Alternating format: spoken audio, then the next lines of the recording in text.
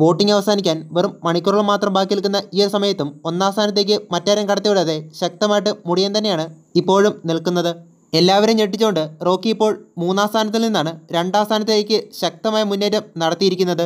രണ്ടു ദിവസത്തെ മികച്ച പെർഫോമൻസ് കൊണ്ടായിരിക്കണം ജിൻഡോ ഇപ്പോൾ നാലാം സ്ഥാനത്തിൽ നിന്നാണ് വലിയ രീതിയിലുള്ള മുന്നേറ്റം നടത്തി മൂന്നാം സ്ഥാനത്തിലേക്ക് വന്നിരിക്കുന്നത്. ഓരോ മണിക്കൂറിലും ശക്തമായ മുന്നേറ്റങ്ങൾ മത്സരാർത്ഥികൾ വരുത്തുന്നുണ്ട് എന്നതിന്റെ ഉത്തമ ഉദാഹരണമാണ് നോറ. നോറ ഇപ്പോൾ അഞ്ചാം സ്ഥാനത്തിൽ നിന്നാണ് നാലാം സ്ഥാനം തന്നെ കൈപ്പിടിയിൽ ഒതുക്കിയിരിക്കുന്നത്.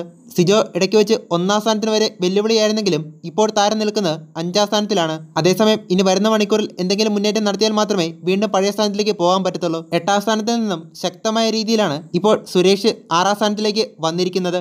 അതേസമയം ആറ് ഏഴ് സ്ഥാനങ്ങൾ തമ്മിൽ ഇപ്പോൾ നേരിയ വ്യത്യാസം മാത്രമേ ഉള്ളൂ ഇപ്പോഴും പ്രത്യേകിച്ച് യാതൊരു വിധത്തിലുള്ള മുന്നേറ്റം നടത്തി മുന്നേറാൻ കഴിയാതെയാണ് രശ്മിൻ ഏഴുവട്ട സ്ഥാനങ്ങളിൽ മാറി മാറി നിൽക്കുന്നത്. ഏറ്റവും മുന്നിൽ നിൽക്കുന്ന മൂന്ന് പേരാണ് ഈ ഒരാഴ്ച പോകാൻ ഏറ്റവും കൂടുതൽ സാധ്യതയുള്ളത്. നിഷാന ഇടയ്ക്ക് വെച്ച് ആറാം സ്ഥാനത്തേക്ക് വരെ പോയിരുന്നെങ്കിലും ഇപ്പോൾ എട്ടാം സ്ഥാനത്തിലാണ് വന്നു നിൽക്കുന്നത്.